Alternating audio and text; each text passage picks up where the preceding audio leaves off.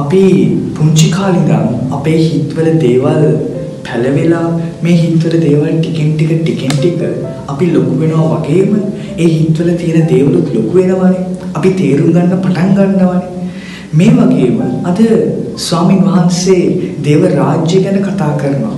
උන්වහන්සේ දේව රාජ්‍ය ගැන එක පැත්තකින් කතා කරනවා හරියට අපි පොළවේ පැල කරන බීජයක් වගේ කියලා.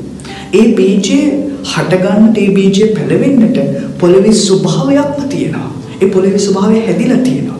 ඒ විදිහට තමයි ඔබේ මගේ ජීවිතය ඇතුලේ උන්වහන්සේ මේ ස්වර්ගීය බලාපොරොත්තුව තියලා තියෙනවා. ඒක ස්වභාවයෙන්ම අපි හැම කෙනෙක්ටම තියෙනවා. හැබැයි අබෑටයක් වගේ මේක ටිකෙන් ටික ටිකෙන් ටික විශාල වෙනකොට අන්න එතනදී තමයි ස්වර්ගීය මහිමයට අපි යන්න පටන් ගන්නෙ. ඒ නිසා ඔබේ ඇතුලේ තියෙන ස්වර්ගීය කැමැත්ත ස්වර්ගීය ආශාව නැති වෙන්නට නෙමෙයි වැඩෙන්නට ඉඩ දෙන්න.